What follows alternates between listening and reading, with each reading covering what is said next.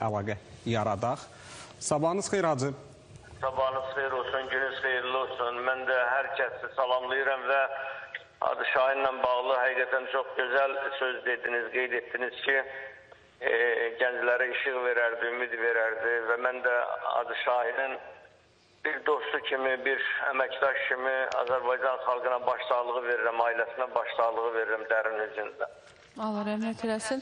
E, Hacı, e, siz necə xəbər tutdunuz e, və Hacı e, Surxay e, dostlar, mən xatırladıram ki, bizimlə birbaşa bağlantıdadır. Hacı, siz nə vaxtda xəbər tutdunuz və e, ümumiyyətlə hər hansı bir başqa bir təfərrüatlar bəlkə sizdə var? Yəni səbəb nə ola bilər və doğrudanmı e, Hacı Şahin Həsənli ürək çatışmazlığından əziyyət çəkirdi?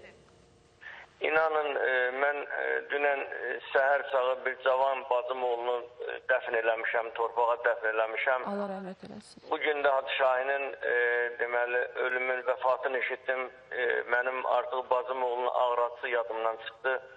Hacı Şahinin siz dediyiniz kimi bəli ürək çatışmazlığına bağlı mən də o sözü eşitdim, amma təbii ki tam dolğun təfərrüatımı bilmirəm, amma təbii ki bunu e, həkimlər e, müayinə edib və qərar verə bilərlər, amma mən Şahin haqqında bunu deyə bilərəm ki, 15 ildir bizim bir dostluğumuz var, səmimi münasibətlərimiz var.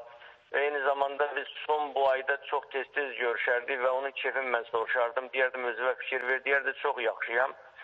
Əlbəttə bir sağlam bir insan idi, düşüncəsi sağlam idi, rasional düşüncələri var idi, pragmatik həyata baxırdı və e, ümidləri çox idi. Hər zaman deyirdi ki, hacı hər şey yaxşı olacaq, yaxşı düşünək. Amma üç gün bundan öncə bugün çox ağladım. E, Mənə bir söz dedi üç gün bundan öncə. Dedi, qızım üçün çalışıram, onun təhsili, tədrisi üçün qoy yetişsin və Azərbaycan xalqına yararlı bir e, övlad olsun. Bu məni həqiqətən üzdü və Hacı Şahin e, çox e, savadlı, Azərbaycan gəncliyi üçün çox böyük iz buraxan bir insan idi. Şahin eyni zamanda e, gəncləri gənclərin içində idi və insanlarla danışmağı çox sevərdi. Və mən düşünürəm ki, o gecə gündüz bilmirdi. Hələ çaba göstərirdi ki, hardasa insanlara fayda versin. Və mən indi anladım ki, o niyə gecə gündüz yatmırmış, səy eləyirmiş, çalışırmış, deməmiş ömrü çox az qalıb. Bu da bir Allah'ın bir e, lütfüdür ki bəlkə də valla o elmi insanlara çatdırdı. Bundan sonra nə qədər Azərbaycan xalqı və gəncliyi varsa Hacı Şahinin moizələri ilə qidalanacaqlar, qidalanırlar və inan hələ inana bilmirəm. Yəni e, bayaqları bizim dostlarımızın biri bir e, fraza işlətdi. Dedi ki, Hacı Şahinlə bağlı bir e, e, rəy yazdı və yazdı ki, dünya belədir və hər şey yarımçılıq qalır. Və ona görə e, Ağracı çox çətindir mənim üçün bir dost kimi, bir qardaş kimi e, onun haqqında danışmaq. Amma mənim xatirələrimdə Hacı Şahin həmişə bir e, dəyərli insan kimi hər təbəssüm eləyirdi hər kəsin üzünə. Ona bir dənə ağrı ağrı söz deyir, acı söz dediyi zaman o, təbəssüm eləyirdi. İnsanların neqativliyini götürürdü. İnsanlara sanki bir pozitivlik e, ötürürdü. Yəni bu Hacı Şahinin həm bir elmi yanaşması, həm bir insani yanaşması idi. E, danışdığı bütünlükdə e, nə danışırsa onu yaşayırdı. Və İmam Əlinin belə bir sözü var. Mən bunu hər zaman qeyd edirəm.